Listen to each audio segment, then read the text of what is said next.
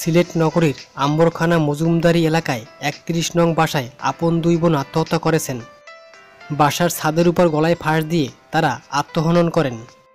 নিহতরা হলেন ওই বাসার মৃত কলিমুল্লাহের মেয়ে শেখ রানী জমিদার, বয়স আটত্রিশ, ও ফাতেমা বেগম, বয়স সাতাইশ। মঙ্গলবার সকালে পুলিশ তাদের মরদেহ উদ্ধার করেছে। বিষয়টি নিশ্চিত করে আম্বরখানা পুলিশ ফাঁড়ির এসআই মফিজুর ইসলাম জানান।